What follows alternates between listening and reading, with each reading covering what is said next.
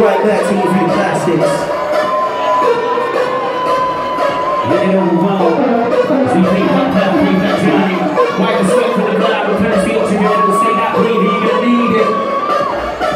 Who do you gotta worry about now? We got last time. So we go like this.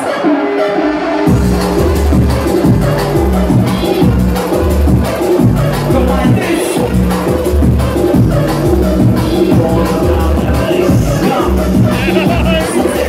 We go like this.